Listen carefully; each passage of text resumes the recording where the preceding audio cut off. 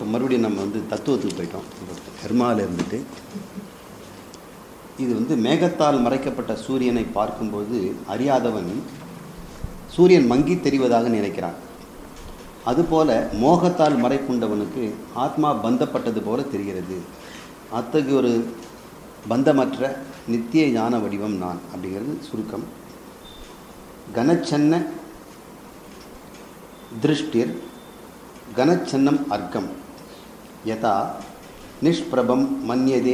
சாதி மூடக ததா பத்தவத் பாதி யோ மோட திருஷ்டே ச நித்யோபலத்தி ஸ்வரூப அகம் ஆத்மா கணம் நகா மேகம் நாலாவது க கணம் கணம் கணம்னா மேகம் ஆச்சன்னம்னா மறைக்கப்படுதல் கனாச்சன்னம்னா மேகத்தால் மறைக்கப்பட்ட அர்க்கம்னா சூரியன். அர்க்கம்னா சூரியன் நமக்கு தெரியும் இல்லையா பார்கவோ அர்க அப்படின்னா நம்ம சூரியனாக சொல்கிறோம் அர்க்கம்னாலும் சூரியன் தான். அந்த காவும் போட்டுக்கலாம். அது ரத்தம்னு அர்த்தம். அர்க்கம்னா சிவப்புனோட அர்த்தம். இப்போ ருத்துங்கிற வார்த்தையும் அதுலேருந்து தான் வருது.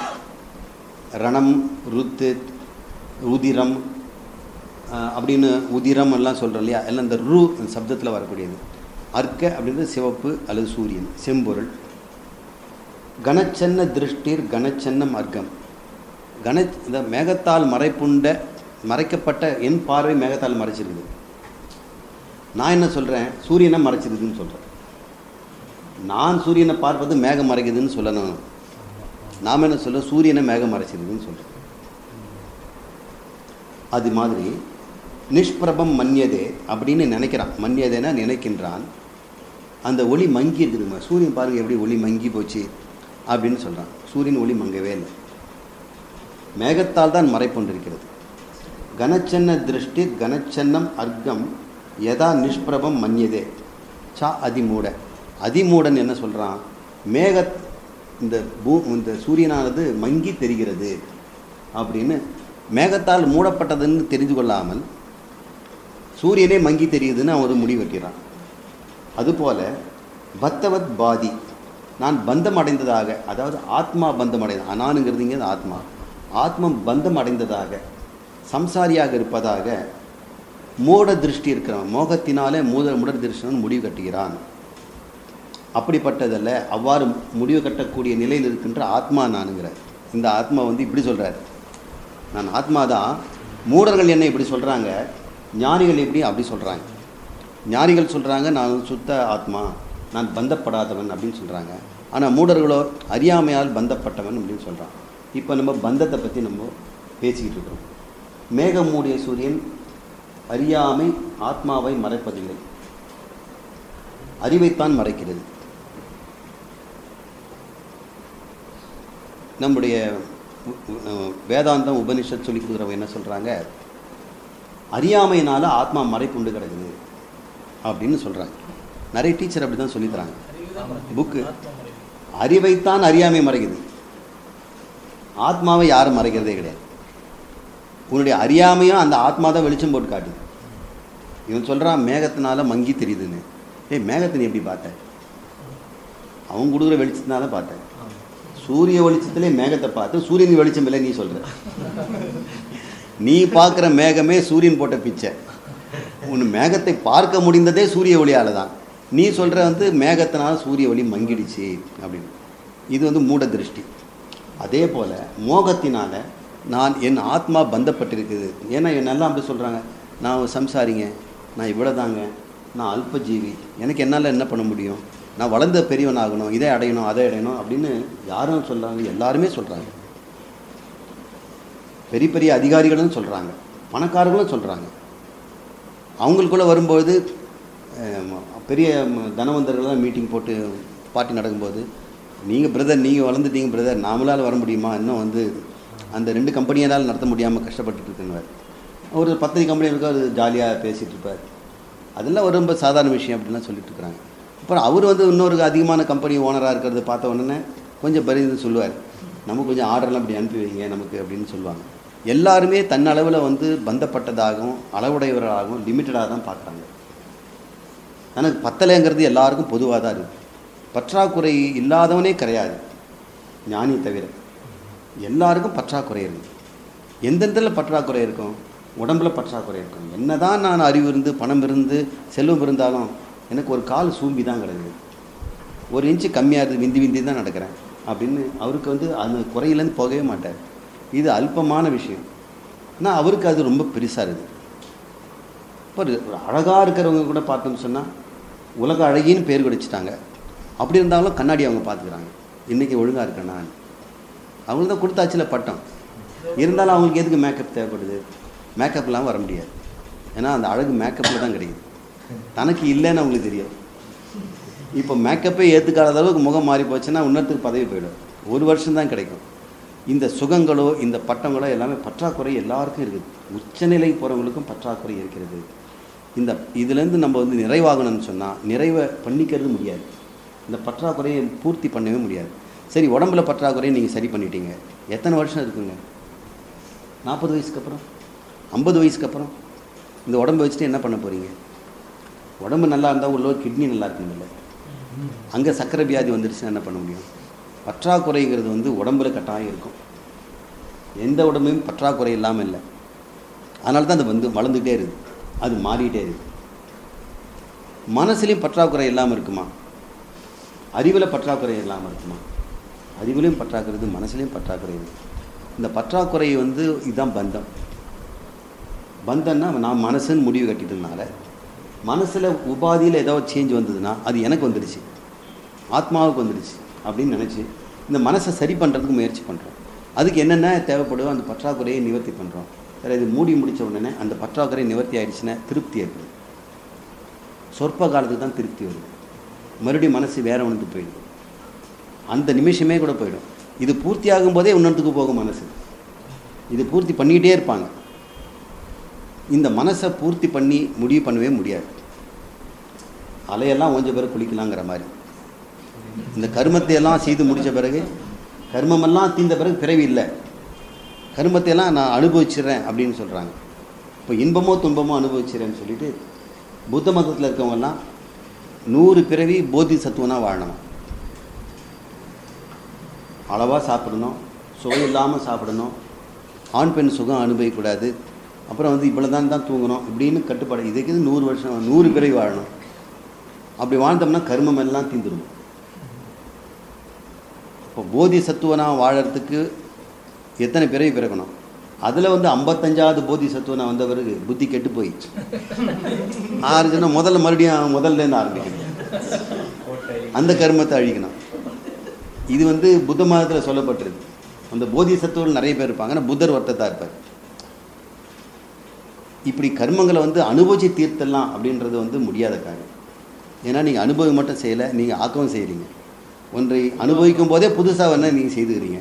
அதனால் இது வந்து என்றைக்குமே வந்து குறையாத அது வந்து இருக்கக்கூடிய ஒன்று. இது ஒன்றே ஒன்று இந்த கர்மத்துக்கு எனக்கு சம்மந்தம் இல்லைன்னு சொல்கிறது நானும் அதுவும் சம்மந்தம் இல்லை. நான் அது வேறு இது வேறு. அது ஏதோ தன்னுடைய ஆரம்பித்த அம்பு புறப்பட்டுடுச்சு அது இலக்க போய் சேரும். நான் எங்கே போய் நடுவில் இருக்கு? இப்போ அம்பை விட்டாச்சு பிறந்தாச்சு. அப்புறம் மரணங்கிறதுல ஒன்று போய் சேரணும். அது எய்த அம்பாக இருக்கிற இந்த பிரார்த்தம் தன் வேலையை செய்யட்டும். அது இருட்டிலேருந்து புறப்பட்டுச்சு அந்த அம்பு. வெளிச்சத்தில் வரும்போது அம்பு இருக்கு தெரியுது. மறுபடியும் இருட்டுக்கு போயிடுச்சு.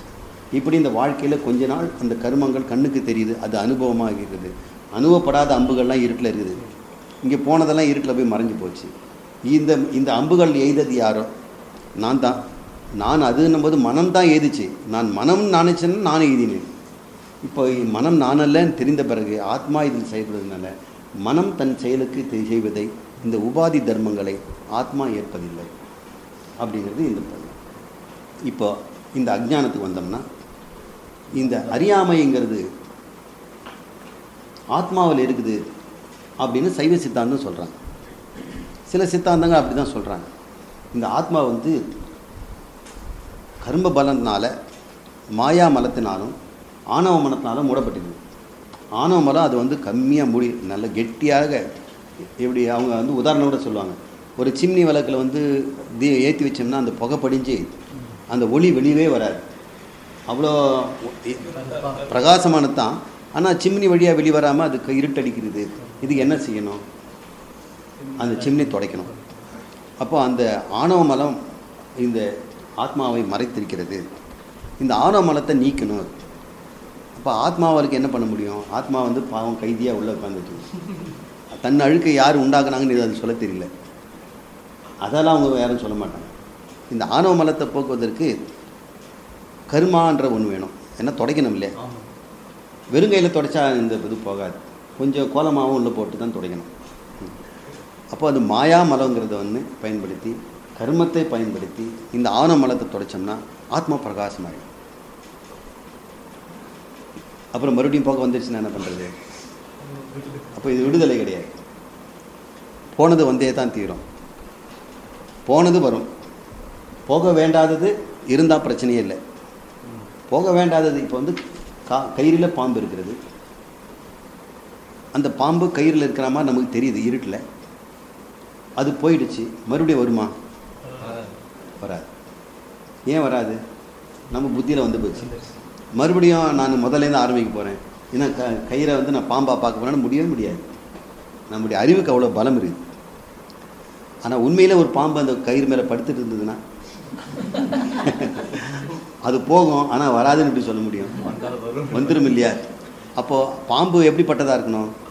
மித்தியாவாக இருந்ததுன்னா தப்பிச்சோம். அதுவும் கயிறு மாதிரி சத்தியமாக இருந்ததுன்னா வந்துடும் இப்போ நாம் வந்து கர்ம பலனையும் மாயாவும் என்ன என்ன கண்டிஷனில் வச்சா நல்லது? மித்தியான்னு வச்சோம்னா நம்ம தப்பிக்கும். சத்தியமாக வச்சிட்டோம்னாக்கா ஆத்மாவும் சத்தியங்க. இந்த உலகமும் கர்மமும் மாயையும் சத்தியம்னு சொன்னோம்னா விடுதலைங்கிறதே கிடையாது. இப்போ விடுதலைங்கிறதுக்கு இதுக்காக வேண்டியது மித்தியான்னு சொல்கிறாங்களா அப்படின்னு சொன்னோம்னா நீங்கள் ஆராய்ச்சி பண்ணி பாருங்கள் மித்தியானா என்ன? லட்சணம் ஆச்சாரம்பனம் விகாரம் நாமதேயம். அது பொருந்துதா இல்லையான்னு நம்ம பார்க்கணும். அப்படி பார்க்கும்போது இந்த பந்தம் என்றது என்னன்னா ஹம், மித்யாங்கிறத வந்து பல டெஃபினேஷனில் நம்ம வந்து புரிஞ்சுக்கணும்.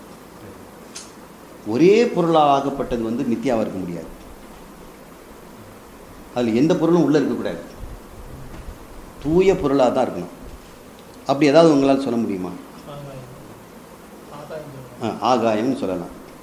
இந்த ஆகாயத்தில் என்ன வஸ்து இருக்குது தூய்மையாக நம்ம அப்போது ஆகாயம் ஏகம் தான் தூய்மையாக ஒன்றே ஒரு பொருளாக இருக்குது மற்ற எல்லா பொருளும் பார்த்தோம்னு சொன்னால் பல பொருளால் செயற்கையாக தான் இருக்குது நம்ம பார்க்குறோம். எந்த பொருள் எடுத்து பார்த்தாலும் செயற்கையாக தான் இருக்குது. அசம்பிளேஜ் தானே. ஒரு இது வந்து மோட்டரை வந்து ஓவர் ஆலிங் பண்ணுறதுக்கு தன்னுடைய டூ வீலர் கொண்டு போய் ஒர்க் ஷாப்பில் நிறுத்திட்டார். நான் இதோ கொஞ்ச நேரத்தில் வரேங்கன்னு சொல்லி ரெண்டு மணி நேரம் கழிச்சு வந்தார். இங்கே வண்டி நிறுத்தினேன் எங்கே சார்? இது வரைக்கும் சார். சார் ஹேண்டில் பார் தனியாக சீட்டு தனியாக எல்லா வீலு எல்லாமே பிரித்து போட்டு கிடக்குது. எல்லாம் கெரசனில் போட்டு ஊற வச்சுருக்காங்க இவர் அப்படியே வயிறே பற்றிடுது என்னுடைய வண்டியாக இது? அப்படின்னு. பாருங்கள் இன்னொரு ஒரு மணி நேரத்தில் வருது பாருங்கன்னாக்கா அப்புறம் வந்து ஃபிட்டிங் பண்ணுறாரு வந்துடுது அப்போ அந்த வண்டி எல்லாம் சேர்ந்த போது வண்டி. பிரிஞ்சிருந்தா உதிரி பாகங்கள். உதிரி பாகங்கள்னு அதுக்கு தான் பேர். சேர்ந்துருந்தா வண்டின்னு பேர். வண்டின்னு ஒன்று இருக்குதா? சேர்ந்தா போது மட்டும்தான் வருது. பிரிந்தால் அது போயிடுது. எது வந்து சேர்ந்தால் தோன்றி பிரிந்தால் மறைகிறது அது மித்தியா ஏன்னா வண்டிங்கிறது மித்தியா இப்போ உதிரி பாருங்கள் சத்தியம் தானே? ஏன்னா அது சேர்ந்தால் தானே இது வர முடியும். இப்போ உதிரி பாகங்களுக்கு நம்ம என்ன பேர் வச்சுருக்கிறோம்? ஒரு நட்டு போல்ட்டு அப்புறம் ஸ்க்ரூ ஹேச்செட்டுன்னு பேர் வச்சுருக்குறோம் இல்லையா? அதுவும் கூட உதிரி பாகங்கள்லாம் சேர்ந்தது தான். அதுலேயும் பார்த்தா ஒரு கொஞ்சம் பிளாஸ்டிக் இருக்கும் மெட்டல் இருக்கும் அப்புறம் வந்து வேறு ஏதாவது பொருள் சேர்ந்துருக்கும். இப்படி எல்லாத்தையும் பிரித்து பிரித்து பிரித்து பார்த்தா அது சேர்ந்தாக்க அது ஒரு பொருளாகுது அது சேர்ந்தா ஒரு பொருளாகுது இதெல்லாம் சேர்ந்தா ஒரு பொருளாகுது. எந்த பொருள் எடுத்தாலும் அப்படி தான் நம்ம பார்க்குறோம். செடி அப்படின்னு சொல்கிறோம் செடின்னு ஒரு ஒரு உருவம் இருக்குதானா இலைகளும் தண்டும் வேரும் இருந்தால் அது பேர் செடி.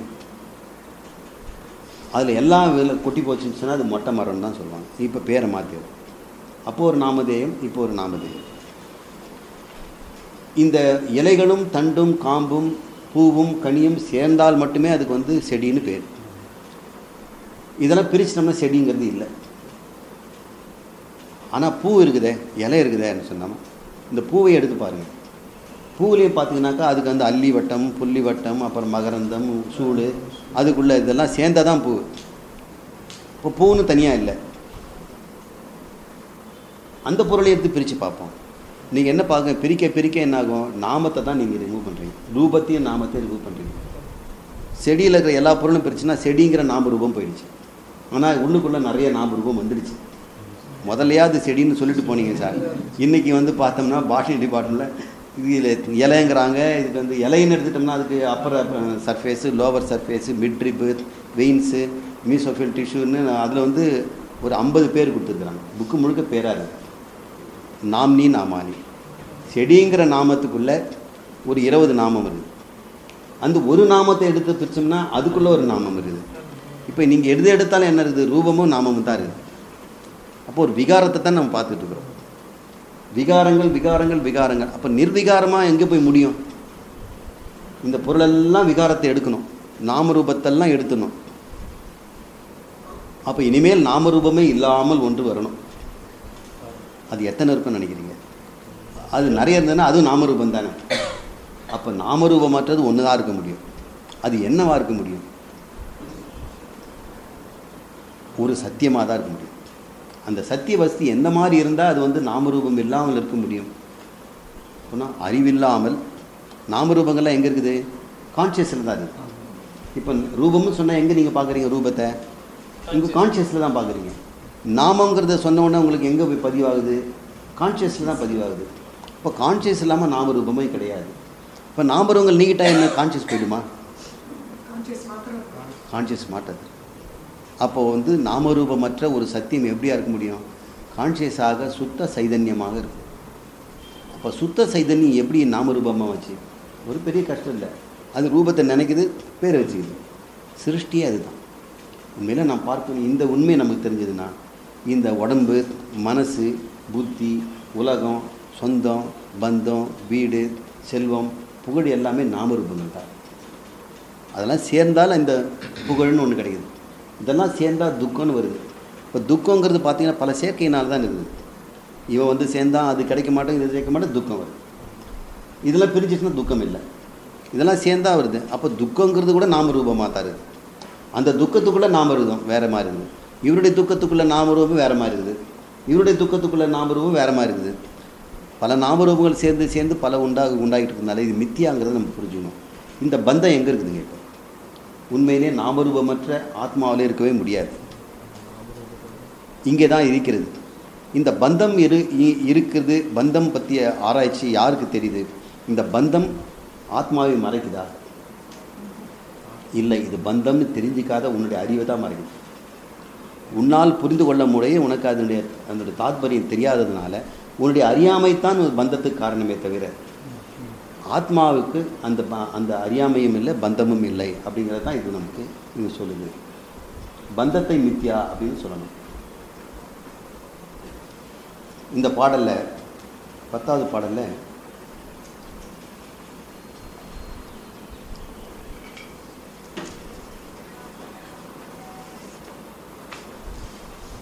ஒரு கேள்வி பூர்வபட்சி எழுப்புறாரு. இந்த பந்தம் பந்தங்கிறீங்களா பந்தத்தை பற்றி புரிஞ்சுக்கிட்டீங்க இல்லையா பந்தங்கிறது வந்து நம்முடைய சம்பந்தம். நம்ம ஆரம்பிக்கும் போதே சொன்னேன் நான் எனதுன்னு எங்கெல்லாம் நீங்கள் பந்தம் வச்சுருக்கீங்களோ அதனால் துன்பம் உண்டு. துன்பம் வேறு பந்தம் வேறு இல்லை துன்பரூபமான தான் பந்தம். நம்ம எல்லாருமே இதிலிருந்து விடுதலை தான் பெற விரும்புகிறோம் எல்லாருக்கும் தேவையானது இந்த விடுதலை. ஒவ்வொரு பந்தமாக நம்ம விடுதலைப்படுத்திக்கிட்டே இருக்கோம். ஒரு பந்தம் என்னை வந்து படிப்பற்றவனாக சொல்லுச்சு. நான் படித்து பெரிய ஆளாகி அந்த பந்தத்தை ஒழித்தேன் ஆனால் இன்னொன்று வந்து செல்வம் இல்லை. சரஸ்வதி கட்டில் நமக்கு லக்ஷ்மி இருக்க மாட்டேங்கிறாங்க. இப்போ அந்த பந்தம் எனக்கு இருக்குது. இந்த பொருள் எந்த அளவுக்கு எனக்கு லக்ஷ்மி வந்தாக்கா எனக்கு திருப்தி ஆகும்னா அதை நிரப்பிட்டேன். நிரப்பின உடனே எனக்கு குழந்தை இல்லை. அந்த இப்படி வந்து ஒவ்வொரு பந்தங்களாக நாம் வந்து தீர்த்துக்கிட்டே இருக்கிறோம் இல்லையா? ஒருத்தர் சொல்கிறாரு எதுக்குங்க ஒன்று ஒன்றா நீங்கள் பண்ணிகிட்ருக்கீங்க ஒரே அடியாக மொத்த பந்தத்தையும் நீக்கிடலாம்ல. அதுக்கு ஒரு வழி இருக்குங்களா? அப்போ வந்து அதுக்கு ஒரு நியாயம் ஒன்று இருக்குது என்ன மல்ல நியாயம் அது? பிரதம மல்ல நியாயம். இந்த பாக்ஸிங்லேயோ குஸ்திலேயோ முதல்ல சின்ன சின்ன ஜோடிகளை ஜெயிப்பாங்க. அதில் ஜெயித்தவனை கொண்டு வந்து அடுத்த போட்டியில் அடுத்த ஆள் ஜெயிக்கணும். அப்புறம் கடைசியாக ஒரு பிரதம மல்லன் இருப்பான். அவனுக்கு அடித்தவன் தான் நீ வந்து சாம்பியன் ஆக முடியும். அப்போ தான் உலக சாம்பியன் பட்டம் உனக்கு கிடைக்கும். அதுக்கு முன்னாடி முப்பது பேர் நீங்கள் ஜெயிக்க வேண்டியது நீங்கள் முப்பது பேர் அடிக்க வேண்டியதில்லை. நேரடி அவங்ககிட்டே மோதிடுங்க. அவனை ஒரே அடி அடித்தோம்னா உங்களுக்கு வந்து பிரதம மல்ல நியாயம். அவனை ஒரே சமயத்தில் நாம் நீக்கி முடித்த உடனே நமக்கு சர்வ பந்தமும் விமுக்தி ஆகிடுது அப்போ அந்த பந்தம் எங்கே இருக்குதுன்னு பார்த்தோம்னு சொன்னால் அதுதான் இந்த கேள்வி. இந்த பந்தம் எங்கே இருக்குதுன்னு சொல்லுங்கள் சார் நான் நீக்கிறேன். இந்த பிரதம மல்ல நியாயப்படி இந்த பந்தம் எங்கே இருக்கிறது அப்படின்னு கேட்கும்போது நமக்கு மூன்று ஆப்ஷன் இருக்குது எங்கேன்னு சொல்கிறதுக்கு ஆத்மாவையும் சேர்த்துக்கும் ஒன்று மனம் அந்த கரணம். அங்கே பந்தம் இருக்குதா? ஒரு கேள்வி. இல்லை அந்த கரணத்தில் சிதாபாசன் ஒருத்தர் இருக்கிறான் நானுன்னு. அவன்கிட்ட பந்தம் இருக்கிறதா? ஒரு கேள்வி. இன்னொரு வாய்ப்பு. இல்லது சிதாபாசன் மனமும் சேர்ந்த கலவையில் இருக்குமா? இல்லை தனியாக இல்லாமல் இருக்கும் சேர்ந்தா வந்துடும்னு சொல்கிறீங்கல்ல அதனால் ரெண்டு பேரை சேர்ந்ததுனால பந்தம் வருமா? இன்னொன்று ஆத்மாவில் வருமா? இங்கே பார்க்கும்போது ஆத்மாவுக்கு பந்தம் இருக்க முடியாது. அதனுடைய இயல்பு நான் ஆத்மா இருக்க முடியாது. நிச்சயமாக அது மனசில் தான் இருக்கணும். ஆனால் மனம் ஜடமாச்சு. மனசுக்கு எப்படி பந்தம் இருக்கும்? அதுக்கு வெளிச்சம் யாராவது கொடுத்தா தான் அது வேலை செய்ய முடியும். அதுவே கடன் வாங்கிக்கிட்டு தயவில் இருக்கக்கூடிய ஒன்று. அதுக்கு வந்து சம்சாரித்துவம் நான் இதுவாகணும் அதுவாகணும்னு மனசுக்கு என்ன தேவை? சிதாபாசன் யார்? அவன் அவஸ்து. இந்த ஆத்மா பரிபலித்தலாக வரக்குன்ற ஒரு தோற்றம் மட்டுமே. உண்மையில் அப்படி ஒன்று இல்லவே இல்லை. ஒரு பொய்யாக நடிச்சுக்கிட்டே இருக்குது. அவங்ககிட்டையும் அது இருக்க முடியாது. இல்லது இப்போ இவங்ககிட்டயும் இல்லை மனசுக்கிட்ட இல்லை ரெண்டு பேரும் சேர்ந்தா வந்துடுமா அந்த சேர்க்கையிலும் அது இல்லை. ஆத்மாவிலும் இல்லை. இப்போ நாலு சாய்ஸும் போயிடுச்சு. இப்போ பந்தம் எங்கெங்க? உண்மையில் பந்தமே கிடையாது. இப்போ பந்தம்னு ஒன்று கிடையவே கிடையாது. பந்தமும் மித்யா தான் பந்தம் வந்து உண்மையிலே இருக்கட்டும். அது யாருக்கு இருக்குது? அப்படின்னா அறியாதவர்கிட்ட இருக்குது யார் ஒருத்தனுக்கு ஆத்மாவை பற்றிய அதிர்ஷ்டான ஞானம் இல்லையோ அந்த இடத்துல பந்தம் இருக்குது இப்போ பந்தம் இருக்குதுன்னு சொல்லிட்டோம் சொன்னால் அது போகவே போகாது. அறியாமல் இருக்கும் வரை இருக்கும். அறி வந்தவுடன் போயிடும்னு சொன்னால் அது எப்படிப்பட்ட பந்தமாக இருக்கும்?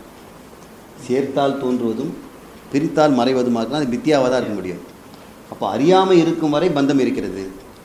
அறிவு வந்த உடனே பந்தம் போயிடுது. அப்போது எந்த அறிவு? அதிஷ்டான ஞானம்னு பேர். இப்போ நம்ம வந்து பார்க்குறோம். பந்தம் அப்படிங்கிறது பத்தாமவன் கதையில் எடுத்துக்கிட்டோம்னா பத்து பேர் தண்ணியை கடந்து போகிறாங்க அதில் ஒரு தலைவன் இருக்கிறான். அவன் க தண்ணியை கடந்து நீந்தி வெளியே வந்த பிறகு ஊருக்கு வந்து சேர்ந்துடுறாங்க. இருடா நம்மலாம் எண்ணி பார்த்துருவோம் பத்து பேர் இருக்கிறோமா? ஒரு இது செக்கப் பண்ணிக்கலான்னு சொல்லி அவன் எண்றான். எண்ணி பார்த்தா ஒம்பது பேர் தான் இருக்கிறாங்க. உங்களுக்கே தெரியும் அவன் வந்து தன்னை விட்டுட்டான்னு. பல முறை எண்ணி எண்ணி பார்த்தான். ஏன் பல முறை எண்ணி பார்க்குறேன்னா அவன் வந்து அந்த ஒன்பதுங்கிற எண்ணத்தில் அவன் பீடிக்கப்பட்டிருக்கிறான். பயம் வந்துடுச்சு ஒரு தடவை எண்ணி தப்பாயிட்டோம்னு பயம் வந்துடுச்சு இந்த பயத்தினால எப்படி தடவை என்னால் தன்னை கூட்டணுங்கிறதே மறந்து போயிடுது இந்த ஒன்பது இந்த நவம் சொல்லக்கூடிய ஒன்பது இந்த நவ அவச்சின்ன உபாதியில் அவன் சிக்கிட்டான். அதில் வெளிவர முடியாது. அஞ்சு தடவை ஆறு தடவை எண்ணி பார்த்தாலும் ஒன்பது பேர் தான் இருக்கும் அதுக்கப்புறம் வந்து எண்றதை விட்டுட்டு தேட ஆரம்பிச்சிடுறான் யாரை தேடுறான் இப்போ? தன்னை தான் தேடுறான். எப்படிங்க கண்டுபிடிப்பான் அவன்? தன்னை தேடுகிறவன் தன்னை எப்படி கண்டுபிடிப்பான்? தேடுறது எப்போ நிறுத்துவான்? கண்டுபிடிச்சா தான் நிறுத்துவான். என்னதான் அவன் வந்து கண்டுபிடிக்கவே இல்லையே. அப்போ எப்படி கண்டுபிடிக்க முடியும்? யாராவது ஒருத்தர் சொல்லணும். நீ தேடுறது யாருன்னு சொல்லணும். இப்போது இந்த பந்தம்ன்றது இதுதான் தேடுதல் தான் இல்லாத ஒன்றை இவன் தேடிட்டு இருப்பதையே இல்லாத நினச்சிக்கிட்டே தேடிட்டு இருக்கிறான் அப்போ இந்த பந்தம் எப்படிப்பட்ட பந்தம்? இந்த சம்சாரித்துவம். சம்சாரித்துவங்கிறது ஆதலும் அடைதலும். இதுவாக மாறணும் இதை அடையணும். எல்லாருக்கும் இது மாறிடணும். இந்த வீடு மாறணும் உடம்பு மாறணும் ஆள் மாறணும் இப்படின்னு மாற்றம் வேணும். இல்லைன்னா அடையணும். நான் இதை அதை அடைஞ்சாகணும் இது அடைஞ்சாகணும் அங்கே போய் சேரணும் இங்கே போய் சேரணும் அப்படின்னு இருக்குது. இந்த ஆதல் அடைதலையே நம்ம வாழ்க்கையில் முழுக்க செய்வது சம்சாரித்தோம்னு சொல்கிறோம் இது வந்து பந்தம்னு பேர். ஏன்னா கட்டி இது. ஒரு ஃப்ரீடம் இல்லை. சுதந்திரம் இல்லாத ஒரு நிலை. இந்த இது இந்த சுதந்திரம் இல்லாத நிலைக்கு பந்தம்னு பேரிச்சிருக்கிறதுனால இந்த பத்தாம் அவன் தேடுகின்ற தன்னை தேடுகின்ற நிலை சம்சாரின்னு சம்சாரியை தான் தேடிட்டுருக்குறாங்க. என்ன தேடிட்டு இருக்கிறாங்க தன்னையே தேடுறாங்க. நாம் எல்லாருமே சம்சாரிகளாக இருந்தால் நாம் தேடுவதை நம்ம தான் தேடுறோம். இல்லை சார் என்னை தேடல சார் நான் பொருளை தேடுறேன் சார். நான் பணத்தை தான் தேடிட்டு இருக்கிறேன் நீங்கள் என்ன தேடுறேன்னு சொல்கிறீங்களே சரி அது கிடைச்சா உங்களுக்கு என்ன கிடைக்கும்? இந்த பணம் உங்களுக்கு கிடைச்சா என்ன கிடைக்கும்? சுகம் கிடைக்கும். யார் சுகமாக இருப்பாங்க? நான் சுகமாக இருப்பேன். அப்போ நான் சுகமாக இருக்கின்ற ஒன்றை தான் தேடிட்டு இருக்கிற. நீ சுகமாக இருக்கணுங்கிற ஒன்றை தேடிக்கொண்டிருக்கிறாய் அப்போ நீ வந்து சுகம் இல்லைன்னு நீ முடிவு கட்டி வச்சிருக்கிற. அப்போ உன்னை பற்றி ஒரு தப்பிப்ப தப்பு அபிப்பிராயம் வச்சிருக்கிறதுனால தான் உன் தேடல் இருக்கிறது. ஒருவேளை நீ சுகமாகவும் இருக்கிறவன்தாக்கா? உன்னுடைய சொரூபமே சுகமாக இருந்திருந்தா நீ என்ன செய்யணும்? அறிந்து கொள்ள வேண்டியதான் பாக்கி. அப்போ நீ தேடுவதை நிறுத்திடுவேன் நீங்கள் நினச்சி பாருங்கள் ஒவ்வொரு பொருளும் இந்த டீ இருக்குது வரும் அப்படின்னு சொல்லும்போது ஒரு ஆசை மனசில். வந்துடும் வந்துடும் வந்துடும் வந்து எதிரில் வந்த உடனே ஒரு நிம்மதி. இருக்குது அப்படின்னு. அப்புறம் வாயில் போகணும். வாயில் போகும்போது தான் நமக்கு வந்து சம்பந்தம் ஏற்படும். இந்த மனசுக்கும் இந்த கண் முதலிய புலன்களுக்கும் விஷயங்களுக்கும் ஒரு சம்பந்தம் ஏற்படணும். இந்த சம்பந்தம் ஏற்ற உடனே என்ன நடக்குதுங்க? உங்கள் தேடல் நின்று போச்சா இல்லையா? எதை பற்றிய தேடல் நின்றுச்சு டீயை பற்றிய தேடல் நின்றுச்சு அப்போ உங்களுக்கு என்ன கிடைக்குது? திருப்தி கிடைக்குது. நீங்கள் உங்களில் நினைக்கிறீங்க. நீங்கள் வேறு எதுவுமாவே இல்லை. நான் நானாக இருக்கிறேன். என்னவா இருக்கேன் திருப்தியாக இருக்கிறேன். அப்போ நீங்கள் உங்களுடைய நிலை என்னவாக இருக்கும்? எப்பவுமே திருப்தி தான். அப்போ நீங்கள் நானாக ஆகிவிட்டேன். இனிமேல் தேடுவதை நிறுத்திவிட்டேன் அப்படின்னு சொல்லும்போது நான் என்ன செய்கிறேன்? நான் என் நானாக இருக்கிறேன். தேடுவதை நிறுத்தி ஒரு இடத்துல அமைந்திருக்கிறேன். ஓய்வில் இருக்கிறேன். அப்போ ஓய்வாக இருப்பது எப்படி இருக்குது? திருப்தியாக இருக்குது.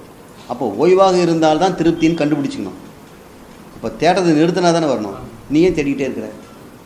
இப்போ டீ கிடைச்ச உடனே இன்னொரு தேடல் ஆரம்பிச்சு அப்புறம் அது வரும் அது வரும் அது வரும்னு காத்துட்ருக்கோம் அப்புறம் அது வந்த உடனே ஒரு பாதி திருப்தி.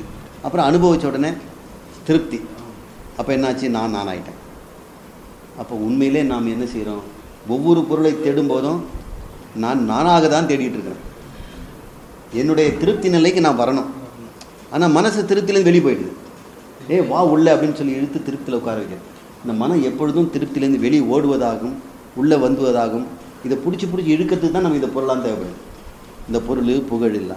இல்லைன்னா அந்த மனம் அதை அலைஞ்சிக்கிட்டே இருக்கும். அதையே அலைஞ்சிட்டு கொடுத்து தொலை அப்படின்வாங்க அது என்ன அப்புறம் அடங்கிடும். மனம். அதுக்கப்புறம் மறுபடியும் கை நீட்டும். இந்த மனம் சென்று சென்று அலைந்து அலைந்து கொண்டிருக்கிறது. அந்த அலைகின்ற மனசை உள்ளே கொண்டு போய் சேர்ப்பது எங்கே போய் சேர்க்குறோம்? ஆத்மாவில் கொண்டு போய் ஆத்மஸ்வரூபத்தில் வைக்கணும். அப்போ ஆத்மஸ்வரூபம் என்னவா இருக்குன்னு நினைக்கிறீங்க? சுகமாகவும் திருப்தியாகவும் தான் இருக்கணும் அது. ஒருவேளை ஆத்மாவோட சுரூபம் அதிருப்தினாக்கா அது அதிருப்தியை தான் தேடிக்கிட்டு இருக்கும். இல்லையா? மனசு. அப்போ அதிருப்தி எங்கே? இப்போ ஒருத்தர் வந்து ஆத்மா வந்து துக்ககரமானது அதனுடைய இயல்பு அப்படின்னு சொன்னோம்னா ஒருத்தர் வந்து சந்தோஷமாக இருந்தால் ஐயோ பாவம் ரொம்ப சந்தோஷமாக இருக்கிறார். எல்லாம் போய் ஆறுதல் சொல்லுவோம் அப்படின்னு. அப்போ அவர் எந்த ஆறுதல் பண்ணி என்ன பண்ண போகிறோம் நம்ம? துக்கமாக்கணும். நம்ம உண்மையிலே சந்தோஷப்படுத்த தான் எல்லாரும் முயற்சி பண்ணாது சந்தோஷம் தான் ஒருத்தர் இயல்பாக இருக்கணும். அப்போ இயல்பு மாற்றம் தான் இந்த சம்சாரித்துவம் இயல்பை அறியாமல் தான் இருக்கிறோம் இப்போ பத்தாம் மனு வந்தோம் சொன்னால் அவன் தேடிட்டே இருக்கிறத நிறுத்துவதற்கு ஒரே வழி யாராவது பார்த்து நீ என்ன செய்கிறப்பா என்ன தேடுற? எனக்கு ஒரு குறிக்கோள் இருக்குதுங்க. பத்தாவதுல ஒரு ஆள் காணாமல் போயிட்டான். அவனை கண்டுபிடிக்கணும். என்னுடைய குறிக்கோள் அது. அது இருந்தால் திருப்தி அடைஞ்சான் ஓ சந்தோஷம் சார் அப்படின்னு சொல்கிறான் அப்போ எல்லாரும் வரிசையை நிற்க வச்சு இப்போ எண்ணிப்பார் நான் என்றேன்னு சொல்லி அவர் என்றார். இவன் இல்லை இவன் இல்லை இவன் இல்லை. ஒன்றாவது ஆள் இனி இல்லை. பத்தாவது ஆள் இல்லை. ஒன்றாவது ஆள் பத்தாவது இல்லை. ரெண்டாவது ஆள் பத்தாவது ஆள் இல்லை. ஒன்பதாவது ஒன்பதாவது பத்தாவது ஆள் இல்லை. ஒருத்தன் நிற்கிறான் அதுக்கு கூட அவன் பேசவே வேண்டியது. ஸ்டாப் வெக்கமாக இருக்குது சார். எனக்கு சந்தோஷப்படலை. அவர் முதல்ல இருக்குதுன்னு சொன்னார் இல்லையா? அப்போ தான் சந்தோஷப்பட்டான். ஐயோ தொலைச்சின்னு நினச்சேன் கிடச்சிருச்சுன்னு. ஆனால் தானுன்னு தெரிஞ்ச உடனே என்ன பண்ணான் சந்தோஷமாக பட்டான். வெக்கப்படுறான். வைத்துக்கொண்டே தேடிக்கொண்டிருந்தேனே. அதுக்கப்புறம் தேடுவான் அவன்? அவன் தேடானா அவன் சரியாக புரியலன்னு அர்த்தம். சார் நீங்கள் கண்டுபிடிச்சிட்டிங்க சார் சொல்லிட்டீங்க சார். நான் இனிமேல் நல்லா தேடுறேன் சார். அப்படின்னு யாரும் தேட மாட்டேன் இப்போ ஞானம் வந்த பிறகு நான் ஆத்மா என்று இத்தனை கிளாஸில் காலையிலும் தெரிஞ்ச உடனே நாம் தேடுறது நிறுத்தணுமா இல்லையா? சந்தோஷத்தை தேடுறது நிறுத்திடணும் இல்லையா? சார் அப்படின்னா காஃபி குடிக்க வேண்டாம். இது மித்தியான்னு தெரிஞ்சுக்கிட்டு மித்யாவை மித்யா தேடட்டும். நான் தேட மாட்டேன். நான் ஆத்மா. மித்யாவை மித்யா தேடட்டும். இந்த மித்தியா டிவை மித்தியா உடம்பு தேடட்டும். இந்த உடம்பு பசிக்குதுன்னா மித்தியா உடம்பு. உடம்பு மித்தியா தானே? அதுக்கு பசி வந்ததுன்னா அதுக்கு வந்து மித்தியா உணவு கொடுக்கணுமா இல்லையா? அப்போ உடம்பு மட்டும் சத்தியம் உணவு மட்டும் மித்தியாவா நிறைய பேர் சொல்கிறாங்க வேதாந்திகள்லாம் பொய் சொல்கிறாங்க எல்லாம் உலகமே மாயி உடல் மாயை எல்லாம் மாயை மாயை பொய் பொய்ன்னு சொல்கிறாங்க அப்படின்னு அவங்க சொல்கிறோம் உண்மையிலே நம்ம என்ன சொல்கிறோம் அப்போ எது சத்தியம்னு சொல்லணும்ல அவங்க? சொல்கிறவன் மட்டும் சத்தியமா? மீதியெல்லாம் உலகமெல்லாம் மித்தைன்னா தான் அது தப்பு. நான் சொல்கிறேன் நான் சொல்கின்ற நானும் பொய். நான் தேடுறதும் பொய். சார் ஏன் இப்போ தேடுறீங்கன்னா பொய் தானே தேடிட்டு இருக்கோம். அதை பற்றி உங்களுக்கு என்ன கவலை? பொய் தானே தேடிட்டு இருக்குது. பொய் உடம்பு பொய் உலகை பொய்யை தேடட்டும். நான் தேடவில்லை. இந்த ஞானம் நமக்கு வரும். இந்த ஞானம் வந்து தெளிவு வரும்போது தெளிவு வரும்போது நமக்கு வாழ்க்கையில் வந்து இந்த சுகானுபவம் கிடைக்கும். விடுதலைன்னா என்னன்னு தெரியும். நம்ம விடுதலை அனுபவிக்காதனால தான் சொல்லிட்டு இருக்கோம். அப்பப்போ அற்ப சுகத்தில் வருகின்றதை விடுதலை நினச்சிக்கிட்டோம் இருக்கோம். என்ன விடுதலை? பற்றாக்குறை விடுதலை அடைஞ்சோம். ஒரு தற்காலிகமான பற்றாக்குறை விடுதலை விடுதலைன்னு நினச்சிட்டு இருக்கிறோம். நிரந்தர விடுதலை கொடுத்தாச்சுப்பா உனக்கு. இனிமேல் நீ திரும்பி உள்ளே போக வேண்டாம். இவன் no no longer jail bird history ஷீட்டர்னு சொல்கிறாங்க ஜெயில் பேர்டுலாம் பேப்பரில் போடுறாங்க. இப்போ வந்து ஜெயில் பேர்டுக்கு வேலை இப்போ என்ன சொல்கிறாங்க ஹிஸ்ட்ரி ஷீட்டர் இதே பழக்கமாக வச்சுருக்கோம் ஜெயிலுக்கு போயிட்டு போயிட்டு வர்றது. இந்த எக்ஸ்பிரஸில் தான் யூஸ் பண்ணுறாங்க ஹிஸ்ட்ரி ஷீட்டர்னு இப்படி வந்து போயிட்டு வருகின்ற உடம்பு உடம்பாக மாறுகின்ற இந்த உடம்பை மாறுகின்றதை நிறுத்திட்டு இனிமேல் வெளியே போக வேண்டிய அவசியம் இல்லாமல் தனக்குள்ளேயே சுரூபத்தில் இருக்கின்ற நிலை வந்த பிறகு இந்த உடம்பும் இருக்கட்டும் மனசும் இருக்கட்டும் உலகம் இருக்கட்டும் பந்தமே இருந்துட்டு போகும். ஏன்னா அந்த பந்தம் மித்யா. மித்யா பந்தம் இன்னும் அதிகமாக வரணுமா? கொஞ்சம் கம்மியாக கொடுக்கணுமா? பொய்யின்னு ஆகி போச்சு அது அதிகமாக இருந்தானே பொய் கொஞ்சமாக இருந்தானே? நான் கொடுக்குறேங்க. சாப்பாடு போடுறேன் பொய்யா. உங்கள் முன்னாடி இலையை விரிச்சிட்டேன். பொய் இலை. அப்புறம் பொய்யா தண்ணி தெளிச்சிட்டேன். அப்புறம் வந்து நிறைய சாதம் போடுறேன். நீங்கள் என்ன சொல்கிறீங்க இவ்வளோ போடாதீங்க சார்னு சொல்லுவீங்களா சார் சாப்பிட முடியாது சார். இந்த புளிக்குழம்பு ஐயோ புளிக்குழம்பு எனக்கு பிடிக்காது சார். அப்போ நீங்கள் சத்தியமாக இருந்தீங்கன்னு சொன்னால் இது சொல்லலாம். இது வந்து பொய் அப்படின்னு. நாம் நானும் சத்தியம் பொய்ன்னு சரி நினச்சிக்கணும். அப்போது நீங்கள் என்ன சொல்கிற நான் பொய்ன்னு தெரிஞ்ச பிறகு சரி போடுங்க சார் நான் சாப்பிட்றேன். இந்த லாரியிலே கொண்டாந்து போடுங்க சாப்பிட்றேன்னு சொல்லலாம். பொய்யின் மித்தியான்றது தெரிஞ்சுக்கிட்ட உடனே இதில் குறைச்சல் என்ன அதிகம் என்ன? உபாதின்னு தெரிஞ்ச பிறகு உபாதியில் நல்ல உபாதி கெட்ட உபாதின்னு இருக்குது. கிறிஸ்டல் கிளியராக இருக்குது. அது பச்சையில் இருந்தால் பச்சை மஞ்சள் இருந்தால் மஞ்சள். இல்லை எனக்கு இந்த உபாதி வேணாம். பச்சை மஞ்சள் இருந்தால் இல்லை நீ கிறிஸ்டல் கிளியர் நீ உன்னுடைய சுபாவம் சுத்தமானது உனக்கு அழுக்கே இல்லை பந்தமே இல்லாதவன். நீ எதுக்கு வந்து க பக்கத்தில் இருக்க துணியை வந்து எனக்கு மாற்றுங்க எனக்கு ரொம்ப நேரமாக சிவப்பில் உட்காந்துட்டு எனக்கு பிடிக்கல. உடனடியாக நான் பச்சைக்கு மாறணும். மித்தியா இருந்துட்டு போகட்டும். ஞானத்தால் நான் கிறிஸ்டல் கிளியர்னு தெரிஞ்சுக்கணும். உபாதி ஆத்மாவை பாதிப்பதிலே தெரிஞ்சுக்கணும். மித்யா உலகம் மித்யா மனசு மித்யா மித்யா டீல் பண்ணிக்கிட்டோம். சத்தியமாக எனக்கு இதிலிருந்து தொடர்பில்லை. என்னை சார்ந்து அது இருக்கிறது அதை சார்ந்து நான் இல்லை அப்படின்னு நம்ம சொல்கிறோம் ஒவ்வொருத்தரும் ஒரு வந்து பல வேஷங்களை போட வேண்டியிருக்குது. ஒருத்தரே வந்து பல வேஷங்களும் போட வேண்டியிருக்குது. டபுள் வேஷம் போடுறாங்க சில சினிமாவில். அப்போ அவங்க அவங்க வந்து வேஷத்தை வந்து சந்தோஷமாக எடுத்துக்கிறாங்க. இந்த எனக்கு நல்ல வேஷமே கிடைக்க மாட்டேங்குதுன்னு சொல்கிறாங்க என்ன நல்ல வேஷம்னு? இந்த உடம்பெல்லாம் புண்ணாகி குஷ்டரோகி இருக்கிற மாதிரி ஒரு வேஷனை கொடுத்தோம்னா பிச்சு உதறிடுவேங்கிறாங்க அது பொய்ங்கிறதுனால தானே செய்கிறாரு சார் அது மாதிரி நடிச்சிங்கன்னா நிஜமாகவே ஆகிடும்னா யாராவது பணம் விடுவாங்க? நடிகவேல் அவன் பேர் என்ன? எம்ஆர் ராதா ஒரு படத்தில் அப்படி நடிக்கிறார். அதுக்கப்புறம் வேறு யாரும் அது மாதிரி நடித்தாங்களான்னு எனக்கு தெரியல. அதை விரும்பி செய்தார். இன்றைக்கும் பேர் வருது. இன்றைக்கி வந்து அவர் நடிப்பு அபாரம்னு சொல்கிறாங்க அவருக்கும் வந்து வாழ்க்கையில் வந்து பெரிய சாதனை செய்ததாக இருக்கார். எப்படிப்பட்ட உபாதி? உபாதின்னு தெரிஞ்சதுனால அவர் ஒத்துக்கிறார். அது சத்தியம்னு தெரிஞ்சால் ஒத்துக்குவாரா? இந்த சீனில் வந்து அவர் சுடுவான் சார். நீங்கள் அப்படியே ரத்தத்தை வந்து அந்த அந்த பை ஒன்று வச்சுருப்பாங்க. இதை நசிக்கணுன்னா அதை பிச்சுக்கும். அதனால தான் அடிபட்டவொடனே தொட்டுக்குவாங்க. ஏன்னா அவங்க டைரக்டர் சொல்லியிருப்பார் உள்ளே வந்து பிளாஸ்டிக் பேக்கில் ரத்தம் இருக்குது. நீங்கள் நிறையா அமுக்கணும்னு இல்லை ரெண்டாவது ஷாட் எடுக்கணும். வேறு அதை அமுக்கிட்டு கீழே வந்துடுங்கன்னு சொல்கிறாங்க தாராளமாக செய்கிறேன் சார்.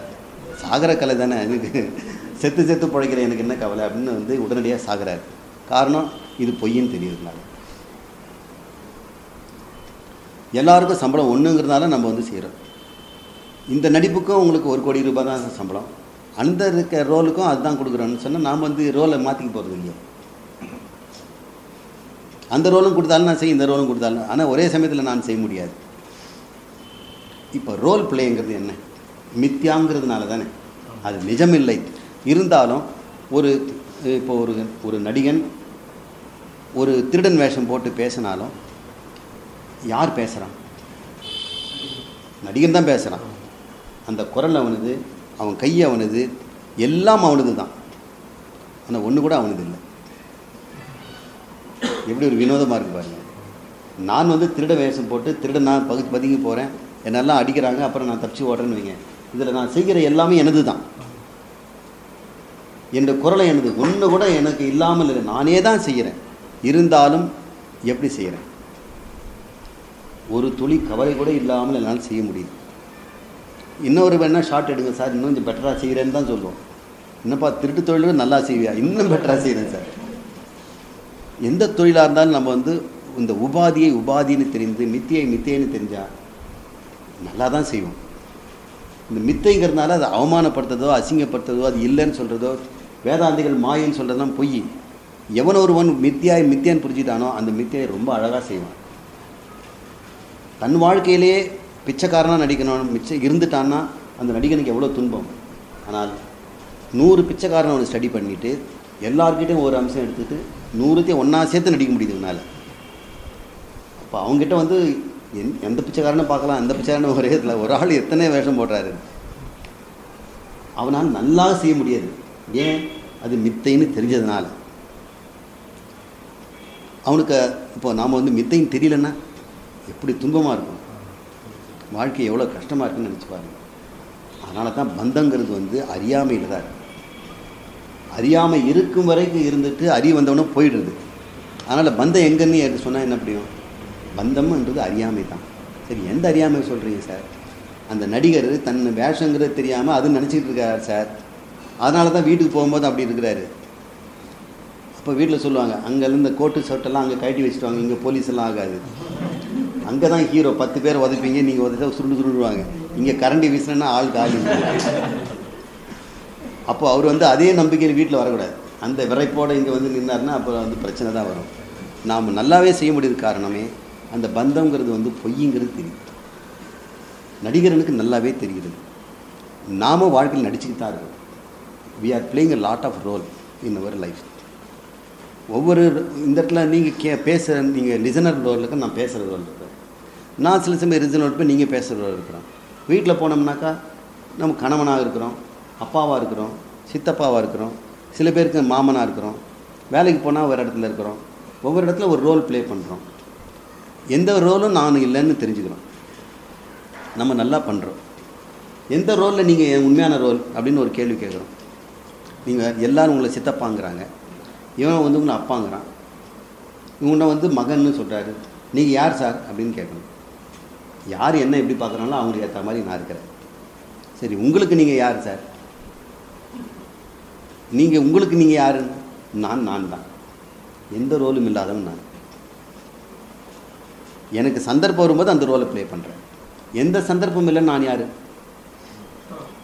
நான் நானாக தான் இருக்கிறேன். அப்போ நான் நானாகிறது நீ கண்டுபிடிக்க வேண்டியிருக்குது நீ நானாக தான் எப்போ இருந்துகிட்ருக்குற இருக்கிற ஆனால் ரோலை நிஜம்னு நினச்சிக்கிட்டு இருக்கிறதுனால இந்த ரோல் எனக்கு பிடிக்கலை இந்த ரோல் எனக்கு கஷ்டம் வந்துடுச்சு இந்த இடத்துல இப்படி நடந்தது அப்படின்ற எல்லா துன்பங்களுமே இந்த ரோலை வந்து நிஜம் இருக்கிறதுனால அந்த ரோலுங்கிறது மனசு. ஆத்மாங்கிறது நிஜம் நான். மனசை மனம் ஏற்கின்ற வடிவங்களை என்னுடையதாக நான் ஏற்றி சுமந்து பார்க்கிறது பேர் அத்தியாசம்னு பேர். ஒன்றை ஒன்றின் மீது சேர்த்து பார்த்தல் அத்தியாசம் செய்தல். அதில் இல்லை ஆனால் அதில் இருப்பதாக நம்ம சொல்கிறோம். அப்படி அத்தியாசம் செய்வது வந்து மனித சுபாவமாக போச்சு. வேறு யாரும் அத்தியாசம் பண்ணுறதே கிடையாது. நாம் தான் இந்த செங்க இந்த மூவர்ண கொடியை பார்த்த உடனே எல்லாம் சல்யூட் அடிக்கிறோம் என்னடா அவன் கயிறில் கட்டி ஒரு துணியை தூக்குறான்? எல்லாம் கையை இது என்ன மனுஷன் இவன் அப்படின்னு ஒரு வேற்றுக்கிரக வாசி வந்து சொல்லுவான். இன்னைக்கு கவலை நான் பாரு இவங்கெல்லாம் ஒரு பண்ணுற பாரு. நீ எல்லாம் ஆயிரம் வேலை பண்ணிகிட்டு இருப்பாங்க. ஜன்ன கன்ன மருந்து டக்குன்னு எழுந்துக்கிட்டுவாங்க இது நம்ம வந்து அத்தியாசம் பண்ணியிருக்கோம். இப்படி செய்யணும்னு ஏதாவது சட்டம் இருக்குதா? நாம் வந்து இந்த சப்தத்துக்கு மரியாதை கொடுக்கணும். வேற ஒரு பாட்டு வந்ததுன்னா நம்ம வேற மாதிரி ஆடுவோம் டான்ஸு இப்போ ஒவ்வொன்றுக்கும் நாம் வந்து இதற்கு இதை செய்யணும் இதற்கு செய்யணும்னு ஒரு அத்தியாசம் தான் பண்ணியிருக்கிறோம். இது நாம வடிவைத்து கொண்டது தான் உண்மையிலே இது வந்து ஒரு வேடிக்கையான ஒரு விஷயமாக தான் இருக்குது இது வந்து எங்ககிட்ட இருக்கக்கூடிய கத்திங்க பத்து தலைமுறையாக நாங்கள் யூஸ் பண்ணுறோம் இந்த கத்தி. கிட்டத்தட்ட இது வந்து ஆயிரத்தி ஐநூறு வருஷம் பழசு. அப்படின்னு அவர் சொல்கிறார் அப்படிங்களா? நான் பார்க்கணும் பார்க்கணுங்கிறாங்க. இந்த கைப்பிடி மட்டும்தான் நாங்கள் எங்களுடைய எங்கள் தாத்தா மாற்றினார் அது ரொம்ப உதிர்ந்து போனதுனால அந்த கைப்பிடி மட்டும் அவர் மாற்றினார் அப்போ கத்திங்க அது எங்கள் அப்பா மாற்றினாருங்க எங்கே இந்த கத்தி இருக்குது? ஆயிரம் வருஷம் பழசாது. இந்த உடம்பு அப்படிதாங்க. நம்ம அம்மா அப்பா கொடுத்த ஒரு பொருள் கூட இங்கே இல்லை. அது பத்து வயசுல இருந்த உடம்புல ஒரு பொருள் கூட இங்கே இல்லை. இப்போ இருக்கிற பொருள் நாளைக்கு இருக்குமான்னு தெரியாது. இதே மாதிரி கத்தியும் உரையும் மாற்றி மாற்றி மாற்றி மாற்றி புதுசு புதுசுன்னு சொல்லிட்டு இருக்கிறோம் பழசு பழசுன்னு வேறு சொல்கிறோம் நான் நான் சொல்லிட்டு இருக்கிறோம். அது கத்தின்னு வேறு சொல்கிறோம் உண்மையிலே இதெல்லாமே சேர்க்கையினாலும் ஏற்கின்ற மித்தியான்னு புரிஞ்சுக்கணும். ஆனால் அது வந்து டீலிங்கில் நமக்கு என்ன சொல்லணும்? மித்தியாவை மித்தியாவை டீல் பண்ணுங்கள் சத்தியத்தை சத்தியாக டீல் பண்ணுங்கள் எப்படி வந்து பானையும் விகாரத்தையும் நம்ம தனித்தனியாக பிரித்து கொண்டு நம்ம அறிந்தோம். ஒரு சமயத்தில் வந்து விகாரத்தை நம்ம பற்றி பேசுகிறோம் இன்னொரு சமயத்தில் களிமண்ணை பற்றி பேசுகிறோம் கடைக்காரன் வந்து ரெண்டுத்தையும் சேர்த்து பேசுகிறான் தங்கத்துக்கு எடை போடுறான். அந்த விகாரத்துக்கு எவ்வளோ செய்கூலின்னு கணக்கு போடுறான். அப்போ அவனுக்கு ரெண்டும் வேணும். திருடனுக்கு அந்த சத்தியம் மட்டும் வேணும். பெண்களுக்கு இந்த மித்யா மட்டும் வேணும். கடைக்காரனுக்கு சத்தியம் மித்யா ரெண்டையும் பயன்படுத்துகிறான் அவன் தான் இருக்கிறதுலே புத்திசாலி. கணக்காரனா நம்ம வாழ்ந்தீங்க. நம்ம செய்கூலியும் பார்த்துக்கணும் சேதாரமும் பார்த்துக்கணும். இந்த சத்தமான சத்துவம் இருக்குதுன்னு நம்ம பார்த்துக்கணும். இந்த ஞானத்தில் வாழ்ந்தாக்கா என்ன கஷ்டங்க எப்படி ஒரு வந்து நடிகன் எந்த வேடத்தையும் சந்தோஷமாக மிக சிறப்பாக செய்கிறான். அப்போ ஒரு ஞானி எப்படி செய்வான்? செயல் செயலை. ஒரு ஞானி டாக்டராக இருந்தால் எப்படி இருப்பான்? அவனை விட யாரும் செய்ய முடியாது. ஏன்னா அவனுடைய ராகுத்வேஷத்துக்கு அவன் செய்கிற தனக்கு புகழ் வரணும்னு செய்யலை. தனக்கு இருந்தாலும் பணம் வரணும்னு செய்யலை. எனக்கு என்னெல்லாம் தெரியுமோ அதை நான் செய்யணுங்கிறதான் செய்வோம் பணத்துக்கு செய்தேன்னு சொன்னாக்கா இவன் கொடுக்குற காசு இவ்வளோ போதும் நாலு தையரோட நிறுத்தி. அப்படின்னு சொல்கிறான் அப்புறம் புகழுக்குன்னு சொன்ன சொன்னாக்கா ஒரு வெட்டு இந்த ரெண்டு வெட்டு போடு. நிறைய ஒரு செய்தாருன்னு புகழ் வரட்டும் அப்படின்னு சொல்லி கையை வந்து இருக்கிற கையை வெட்டிட்டு ஜாயின் பண்ணுவான். ராகத்வேஷத்தில் செய்யறதுக்கும் ராகத்வேஷம் இல்லாமல் செய்வதற்கும் ஞானம் வந்து வந்து ராகத்வேஷம் இருக்கிறதில்ல. தனக்கு விருப்ப வெறுப்புகள் இல்லாமல் செய்யப்படுகிற நிலை அப்போது நான் அந்த நடிகனாக நான் ஒரு பாத்திரம் எடுக்கும்போது அது விரும்பியும் செய்யலை வெறுத்தும் செய்யவில்லை. எனக்கு இந்த சமயத்தில் கொடுக்கப்பட்ட வேஷம் இது. நான் இந்த வேஷம் கலையும் வரை நான் அதை சிறப்பாக செய்து முடிப்பேன் வாழ்கிறதுனால ஞானியாருக்கு வந்து சன்னியாசி ஆக வேண்டிய அவசியமே இல்லை. அப்போ சன்னியாசி தான் ஞானி ஆவாங்கன்னாக்கா சில பேர் ஞானி ஆவதற்கு சன்னியாசி எடுத்துக்கொள்கிறார்கள். சன்னியாசி எடுத்ததுனால ஞானம் வந்துருமான்னு? பாருங்க போதுமான அளவுக்கு தாடி வளர்ந்துருச்சுங்க. நேரம் அவருக்கு ஞானம் வந்திருக்கோன்னு அதெல்லாம் சொல்ல முடியாது.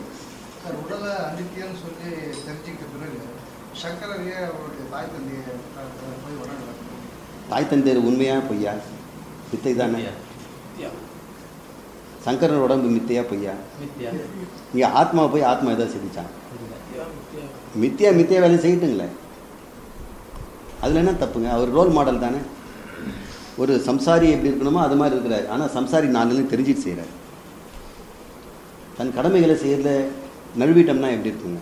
அப்போது பகவத்கீதையிலும் கண்ணன் சொல்கிறார் அர்ஜுனா நாம் வந்து உதாரணமாக வாழ்கிறோம். ஞானம் பெற்றாலும் நாம் உதாரணமாக வாழணும்.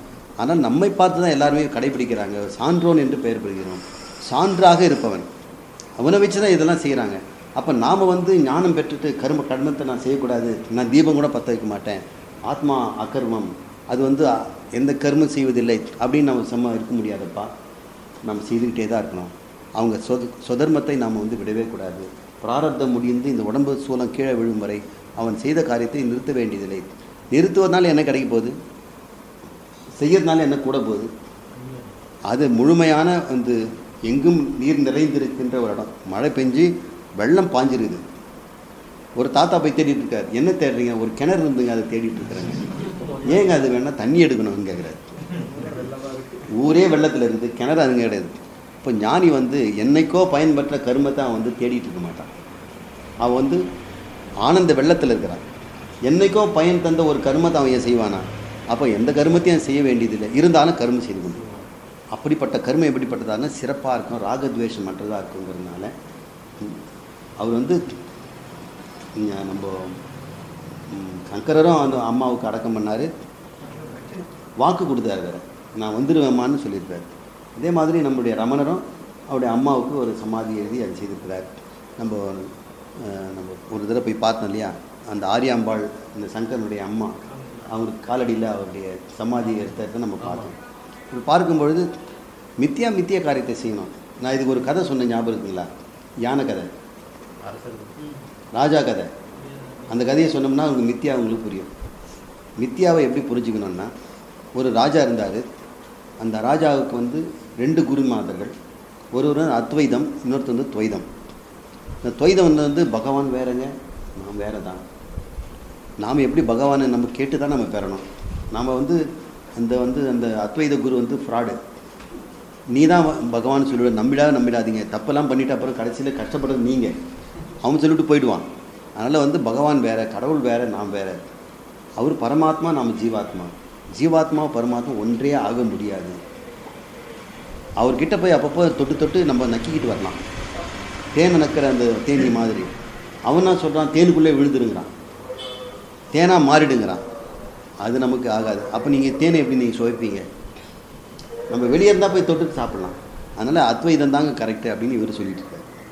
அவர் துவைதம் தான் கரெக்டுன்னு சொல்கிறார் அத்வைத குரு என்ன சொல்கிறாரு பரமாத்மாவும் ஜீவாத்மாவும் ஒன்று தாங்க இப்படி நம்ம வந்து தேனை தேடிக்கொண்டிருப்பதில் தேனாக மாறுதல் தானே இங்கே இருக்கும். அது வந்து தேடும்போது கிடைக்கும்போது தானே சுகம். நாம் சுகமே சுரூபமாக இருக்கிறது தானே உண்மை அப்படின்போது. ஆனால் முட்டாள் மாதிரி அவன் சொன்னது கேட்டிருந்தது இதுதானே கரெக்டு அவர் கொஞ்சம் லாஜிக்கலாக திங்க் பண்ணுறவர் இது வந்து நியாயமாகவும் இருக்குது தர்க்கமாகவும் இருக்குது இப்படி நம்புகிறார் அதனால் எப்போவுமே இந்த ரெண்டு குருகளில் கொஞ்சம் மரியாதை இந்த அத்வைத குருக்கு மேலே. துவைத குருவுக்கு மரியாதை கொடுக்குறாரு. இருந்தாலும் அவர் வந்து அவசரமாக இருந்தால் கொஞ்சம் இருங்க நான் போயிட்டு வரேன்னு போவார் ஆனால் அத்வைத குரு பேசணும்னாக்கா எந்த வேலை இருந்தாலும் அப்புறம் பார்க்கலாம். சொல்லுங்கள் அப்படின்னு இதெல்லாம் அவர் நோட் பண்ணிக்கிட்டே இருக்கிறார். இவருக்கு ஏதாவது வாய்ப்பு கிடைச்சா அவனை வந்து போட்டு தீர்த்துனான்ட்டு இவருக்கு இப்போது ஒரு காட்டில் வந்து வேட்டையாடலாம் போகிறாங்க சும்மா வனத்துக்கு போய் கேம்ப் அடித்து எல்லாம் நெருப்பு மூட்டி சாப்பிட்றது தான். வேட்டையெல்லாம் பெருசாலாம் ஆட மாட்டாங்க இந்த குருநாதர்களை போய் எங்கே வேட்டையாடுறது அப்புறம் தெரியாமல் ஒரு ட்ரெக்கிங் போகிறாங்க இந்த ட்ரெக்கிங் வந்து ஒத்தையடி பார்க்கும்போது ஒரு ஒத்த கொம்ப யானை அங்கே நிற்கிது இந்த முன்னாடி போகிறவர் வந்து அத்வைத குரு. அதுக்கு பின்னாடி வந்து ராஜா. அதுக்கப்புறம் வந்து துவைத குரு கொஞ்சம் கேர்ஃபுல்லாக இருப்பார் அவர். இங்கே யானை வந்த உடனே இந்த அத்வைத குரு என்ன பண்ணுறாரு ராஜா யானை வந்துருச்சு தப்பிங்க இது வேறு வழியே இல்லை. போனோம்னா தீர்த்தவனம் பண்ணு அவர் தலைதறிக்க ஓடுறாரு. ராஜாவும் ஓடி வந்துடுறாரு. அப்புறம் இவர் நிச்சயம் ஓடி தான் வருவார். இவர் தான் துவைதமாச்சு. ஓடி வந்துட்டு வந்தவுடனே எல்லாம் அவனை ஆசுவாசப்பட்ட நல்ல காலம். நீங்கள் ஞாபகப்படுத்துனீங்க நம்ம எல்லாம் தப்பிச்சோம் அப்படின்னு ராஜா சொல்கிறாரு அப்புறம் அமைதியாக அந்த துவைத குரு சொல்கிறாரு ராஜா இவன் என்னத்தையும் என்ன சொல்லிட்டு இருந்தான்? எல்லாம் மித்தியா மித்தியா மித்தியான்றான். பொய்யான யானை. எதுக்கு இவன் வந்து பயந்து வந்தான்? இப்போ மட்டும் யானை சத்தியம் ஆயிடுச்சா அது மித்தை தானுங்க ராஜா. நீங்கள் ஏன் ஓடி வந்தீங்க? நான் சொன்னது உண்மைங்கிறதுனால தான் வந்தீங்க. யானையும் சத்தியம் நீங்களும் சத்தியம். அது வந்தால் நம்ம பா- அப்போ யானை மித்தியா? நீங்கள் ஓடி வந்தது தப்பு. நீங்கள் வந்தது தப்புன்னு நான் சொல்ல மாட்டேன். நீங்கள் எங்களுடைய ஸ்டூடெண்ட்டு அவன் உங்களுக்கு ஏமாத்திட்டு இருந்தான் பாருங்க. அவன் ஏன் ஓடி வந்தான் கேளுங்க. ராஜாவுக்கு ஒரே கோவம் வந்துருச்சு. உண்மைதான் யாரு இந்த சமயத்தில் கரெக்டாக இத்தனை நாளே உனக்கு தெரியாமல் போச்சு. அப்போ வந்து இங்கே வா அப்படின்னு கூப்பிட்றாரு. என்னங்க? நீ என்ன சொல்லுவ இந்த ஜெகத் மித்தைன்னு சொன்ன. பிரம்மம் சத்தியம்னு சொல்லிட்டு இருந்தேன் பிரம்மங்கிறது ஆத்மான்னு சொல்லிட்டு இருந்தேன் இப்போ யானை மித்தியாவை எனக்கு சத்தியமாக மித்தியாகுது அப்போ பொய்யா உண்மையா? அது பொய் தான் ஏன் ஓடி வந்த? என்னையே துரத்திட்டு வந்தல என்னையே ஓடி வந்த? உண்மை சொல்லு. யானை பொய் பொய்யா இல்லையா? யானை பொய் தான் நீ ஏன் ஓடி வந்த? நான் ஓடி வந்து உண்மையை யார் சொன்னது? இதுவும் மித்தியா தான் இந்த உடம்பும் அதே மாயை தான் இதுவும் மித்தியா தான் மித்தியா யானை வந்தால் மித்தியா உடம்பு தப்பிச்சுக்கு தான் போகணும். மித்தியா வயிற்றுல மித்தியா பசி தான் வருது. அப்போ சாப்பிட்றது மித்தியா சாப்பாடு தான். அப்போ விவகார சத்தியத்தில் மித்தியான்னு பேர் வச்சோம்னு சொன்னால் விவகார சத்தியத்தை கரெக்டாக விவகாரமாக டீல் பண்ணணும். அதில் சத்தியத்தை கொண்டு போய் உள்ளே செய்யக்கூடாது மித்தியா முழுக்க மித்தியா தான். சத்தியம் எப்படி? சத்தியம்தான். இதில் சத்தியத்தை மித்தியம் மிக்ஸ் பண்ணக்கூடாது. அப்போ யானை மித்தியா நான் சத்தியம்னு சொன்னால் தானே நீங்கள் வந்து ஓடி வந்த தப்பு? ஓடி வந்ததும் பயந்த மனதும் பயந்த உடம்பும் மித்தியா. அது பயந்ததில் ஓடி தான் வரும். நீங்கள் அதை தான் செய்தீங்க. இதில் என்ன தப்பு? ஆத்மா எங்கே ஓடிச்சு? அந்த யானையில் இருக்கிற ஆத்மா தான் நம்மக்கிட்ட இருக்குது. அது அசையவும் இல்லை செல்லவும் இல்லை எப்பவும் இருந்து கொண்டு தான் இருக்கிறது. இப்படி தான் வாழணும். இப்படி வாழ்ந்தோம்னா பிரச்சனை கிடையாது. இல்லைன்னா ராஜா யானைக்கு பயந்து வந்தார்னு எல்லாம் சொல்லுவாங்க. இப்போ சொல்லலாம்ல. மித்யா ராஜா மித்யா யானைக்கு பயந்து வந்தார் நீங்கள் தாராளமாக சொல்லலாம். உங்களுக்கு அவமானம் வராதுன்னு. அப்படின்னு சொன்னதுனால மித்யாங்கிறது வந்து நாம் நினச்சிட்டு இருக்கிறோம். நம்ம தவிர உலகமெல்லாம் மித்யா நினச்சிட்டு இருக்குது வேதாந்தம். அதனால் வந்து இந்த திட்டம் வராமல் பார்த்தீங்களா அது மித்யா இவன் வந்து ப பணம் கொடுக்குறான் நமக்கு இந்த பணம் வாங்க வேண்டாம் அது மித்யா அப்படின்னு கிடையாது. நானும் மித்யா தான் என்கிட்ட இருக்க மனமும் புத்தியும் மித்யா ஆத்மா ஒன்றே சத்தியம் அது நான். மித்யா தன் வேலையை செய்யட்டுமே. அது எடுத்த காரியத்தை செய்து முடிக்கட்டும். அது என்ன வேஷம் எடுத்து அந்த வேஷத்தை போடட்டும். அதனால தான் நடிகர்கள் வந்து மித்யா வேஷத்தை சந்தோஷமாக செய்கிறாங்க பயந்து ஓடுறாங்க. அவன் பெரிய பராக்கிரமசாலி இருந்தால் கூட இந்த இடத்துல இருந்து நான் பயந்து ஓடணும்னா பயந்து தான் ஓடுறான். அவன் பயந்தா கூடயா இருந்தால் கூட வந்து பத்து பேர் அடிக்கணும்னு அடித்து தான் தீர்றான். இதெல்லாம் செய்ய முடிவதற்கு காரணமே மித்தியாவை மித்யா என்று புரிந்து கொண்டு நான் என்ற ஆத்மா மட்டும் சத்தியம்னு இருக்கணும். இந்த தெளிவான புரிதலுக்கு தான் இந்த பாடல்னு நமக்கு வந்தது. மற்றபடி பந்தத்தை பற்றி நம்ம இப்போ புரிஞ்சுக்கிட்டோம். பந்தம் மித்தியாங்கிறதுனால அது ஆத்மாவிலும் இல்லை மனசிலும் இல்லை இல்லை. அறியாமல் இருக்கும் வரை இருக்கும்.